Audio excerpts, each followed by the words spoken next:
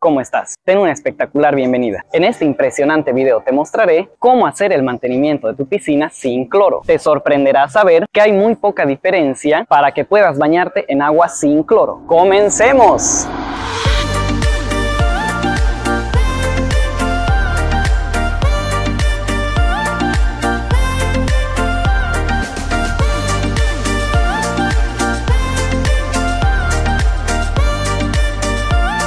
Comenzando te va a sorprender que hay una sola diferencia con el mantenimiento normal que se realiza con cloro. Y lo que sucede es que el cloro tiene una particularidad y esta es que sin importar cuánto cloro tú añadas al agua, en algún momento todo ese cloro se habrá evaporado o habrá hecho reacción y se habrá terminado. Entonces, en ese momento que ya no quede nada de cloro en el agua, tú te podrás bañar con toda comodidad. Así que ahora te muestro cómo hacer este mantenimiento.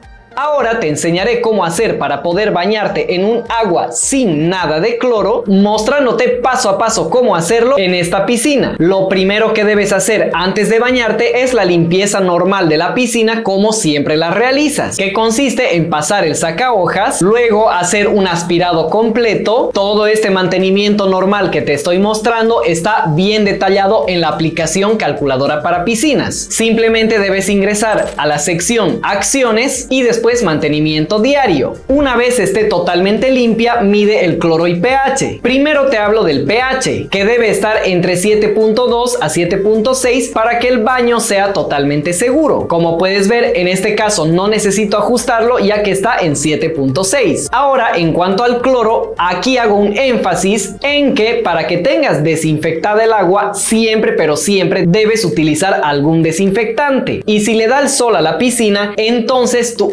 única y mejor opción es el cloro, ya que cualquier otro desinfectante que quieras utilizar no durará nada con los rayos del sol. Pero aquí está el truco, y es que este mismo cloro que tú utilizas para desinfectar el agua, en algún punto este cloro se perderá completamente del agua, ya sea por los días o porque se evaporó debido a la acción del sol. Entonces, en ese momento que el agua se quede sin cloro, no será para nada tóxica y tú te podrás bañar con toda tranquilidad. Así que si tú tienes alguna alergia al cloro o simplemente crees que es tóxico y dañino, lo único que tienes que hacer es esperar a que el agua se quede sin cloro para poder bañarte. Y por si esto fuera poco, si tú deseas bajar ese nivel de cloro y no tener que estar esperando para poder bañarte, puedes hacerlo en cuestión de solamente minutos. Simplemente ingresa a la app, a la sección parámetros, luego a reducir el nivel de cloro y ahí podrás calcular la cantidad necesaria, ya sea de agua oxigenada o también hay otras opciones para poder reducir este nivel de cloro y simplemente añade esta cantidad calculada, ya sea de agua oxigenada o cualquier otro, bien mezclada en un balde con agua y distribuida en los contornos. Luego agita el agua manualmente, espera unos 15 minutos y verifica que efectivamente no tienes nada de cloro en el agua, como puedes ver aquí, y listo, ya podrás bañarte en el momento en que tú quieras en un agua cero pero cero cloro. Así que una vez que ya te hayas bañado con toda tranquilidad, ya cuando termine el baño, simplemente necesitarás recuperar el nivel de cloro que tenía la piscina. Así que te recomiendo en este punto añadir algún cloro shock, como por ejemplo yo en este caso que añadí hipoclorito de calcio, calculando con la app una cantidad de 3 partes por millón para recuperar un nivel óptimo de cloro y además de eso también deja nuevamente pastillas de tricloro o hecha tricloro granulado para que con los días el nivel de cloro se mantenga bien. Este también lo puedes calcular con la aplicación calculadora para piscinas. Y un tip totalmente útil si es que vas a optar por este tipo de mantenimiento en el que siempre te bañes en un agua sin cloro es que es totalmente útil y recomendado especialmente en estos casos utilizar algún alguicida y qué mejor que utilizar un ionizador solar que es un espectacular alguicida